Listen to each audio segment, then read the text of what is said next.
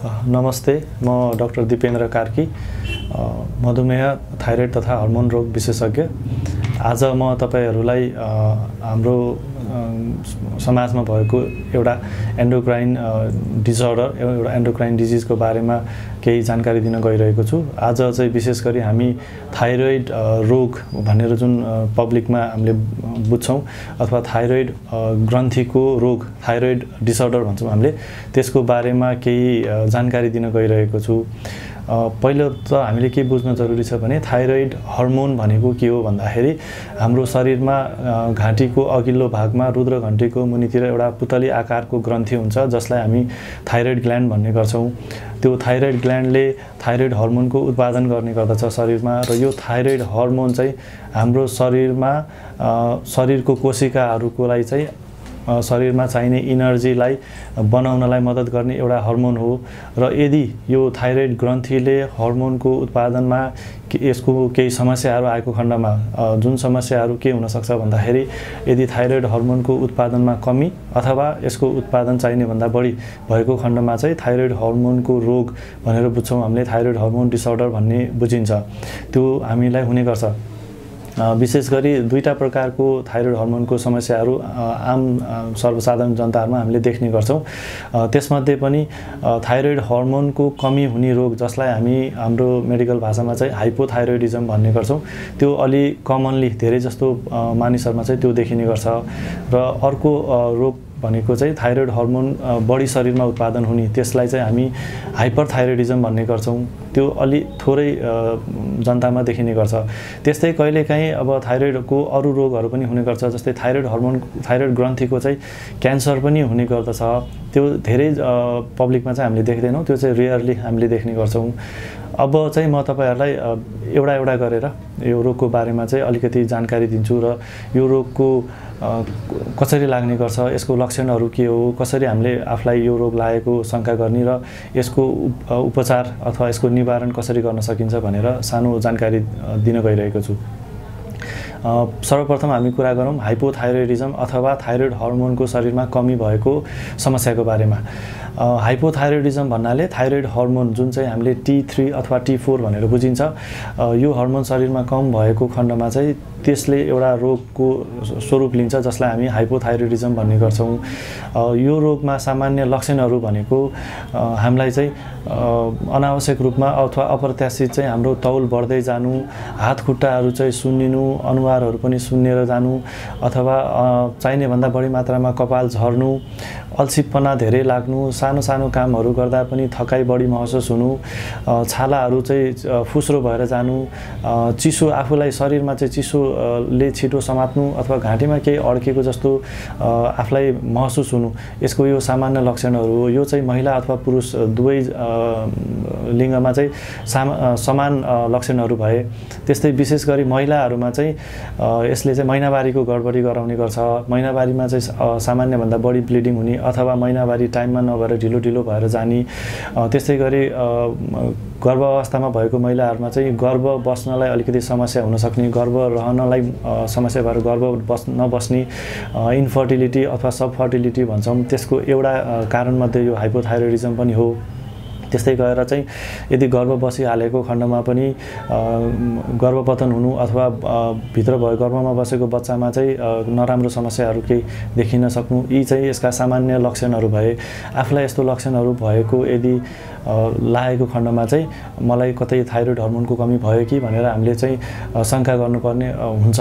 त्यस्तै यदि आफूमा थाइरोइड हर्मोनको कमी छ र यसको यदि हामीले उपचारहरू गरिएन समयमा पत्ता लागेन भने चाहिँ यो रगतमा हरेक अङ्गमा बग्ने भएको भएर यसले विभिन्न खालको अरू समस्याहरू पनि गर्न सक्छ। जस्तै हड्डीहरू कमजोर गराएर हड्डीहरूलाई मक्काउने जस्तै अस्टियोपोरोसिस भन्छौँ हामीले त्यो गराउन सक्छ। जसले गर्दाखेरि शरीरहरू धेरै गल्ने दुख्ने क्याल्सियमहरूको शरीरमा गडबडी गरेको कारणले गर्दाखेरि खुट्टाहरू पिडोलाहरू दुख्ने मासु फर्किने समस्याहरू त्यस्तै गरेर यदि कसैलाई सुगर छ अथवा प्रेसर छ भने यसले चाहिँ सुगर प्रेसरलाई पनि झन् बढाइदिने त्यो समस्याहरू झन् बल्झाइदिने हुनसक्छ।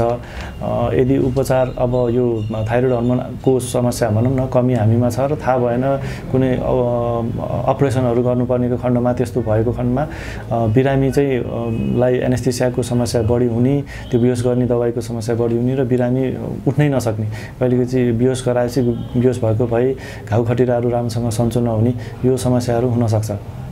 आफूलाई यी यदि यस्ता खालका कुनै लक्षणहरू देखिएको खण्डमा चाहिँ नजिकैको स्वास्थ्य संस्थामा गएर स्वास्थ्य कर्मीसँग परामर्श लिनु जरुरी छ।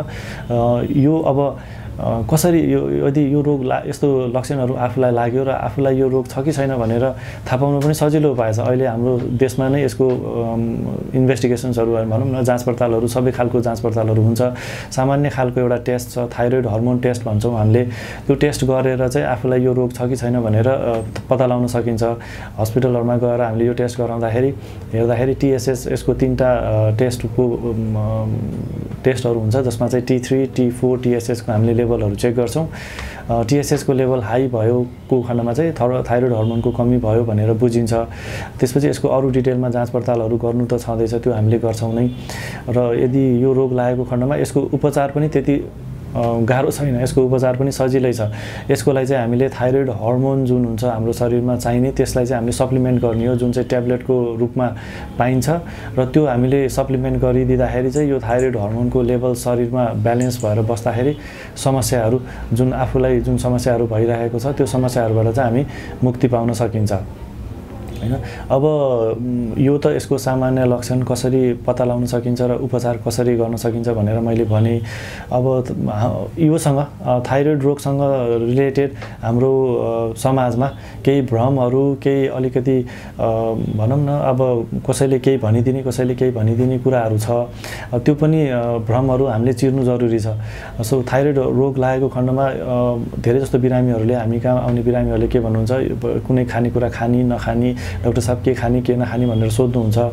थाइरोइड को डिज डिसअर्डर भनौँ न थाइरोइडको रोग लागेको खण्डमा कुनै पनि खानेकुरा खाने अथवा नखाने भनेर त्यस्तो लिट्रेचरमा उल्लेख भएको देखिँदैन।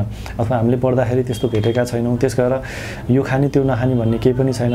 अब कम कमनली हाम्रो भनौँ न कम्युनिटीमा हामीले देख सुनेको भनेको काउली बन्दा गेडागुडी होइन यस्तो कुराहरू खान हुन्न भन्ने खालको सुनिन्छ। तर थाइरोइड रोग भनौँ थाइरोइड हर्मोनको अथवा थाइरोइड ग्ल्यान्डको रोग लागेको खण्डमा काउली बन्दा खानै नहुने नहुने त्यस्तो कुनै पनि लिट्रेचरमा उल्लेख छैन। र यो खानु नहुने भन्ने छैन।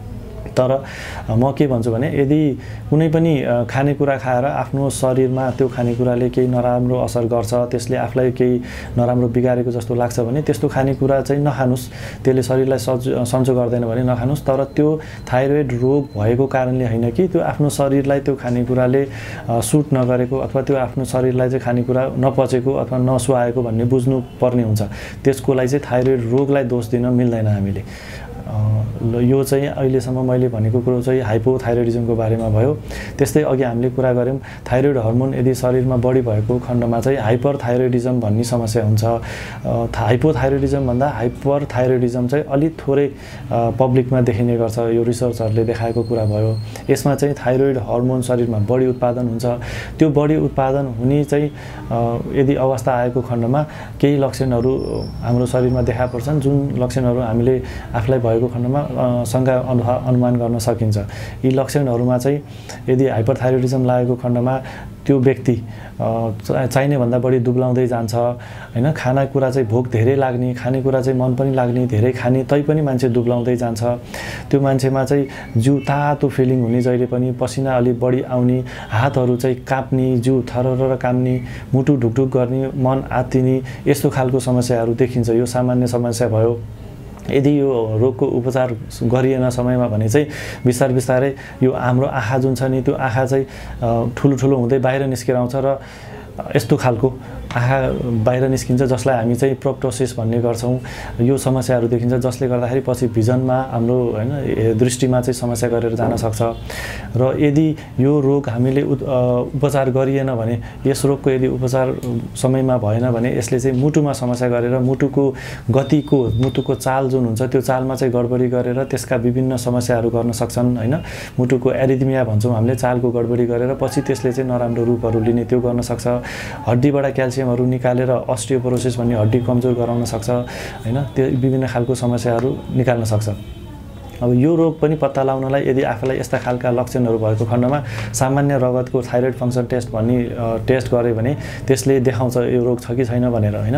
तर हाइपरथाइरोइडिजममा के हुन्छ भन्दाखेरि त्यो रिपोर्टमा हाइपरथाइरोइडिजमको पिक्चर देखिए तापनि यो दुईवटा समस्याले हुनसक्छ। कहिलेकाहीँ यो अस्थायी खालको टेम्पोरेरी खालको समस्या र कहिलेकाहीँ यो रोग नै हुनसक्छ।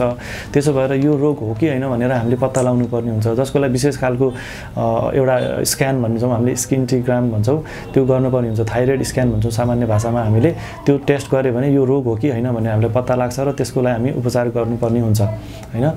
अब उपचारको कुरा गर्दाखेरि चाहिँ हाइपोथाइरोइडिजम हुँदाखेरि चाहिँ हामीले सामान्यतया लाइफ लङ बाँचुन्जेल जीवनभरि नै औषधि खानुपर्ने हुन्छ र हाइपर थाइरोइडिजम हुँदाखेरि डेढदेखि दुई वर्षसम्म हामीले औषधि उपचार गर्छौँ र अधिकांश व्यक्तिहरूलाई चाहिँ यो रोग निको भएर जान्छ।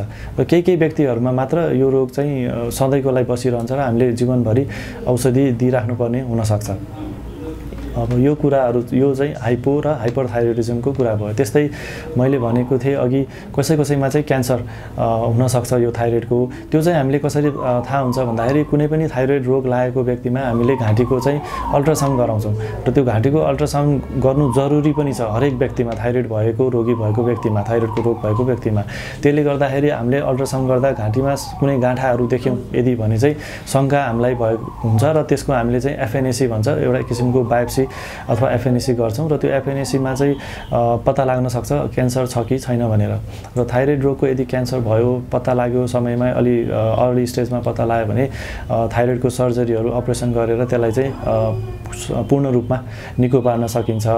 र हामी स्वास्थ्य जीवन बाँच्न सक्छौँ। यो चाहिँ आज मैले तपाईँहरूलाई चाहिँ थाइरोइड रोगको बारेमा सानो जानकारी दिएँ। धन्यवाद।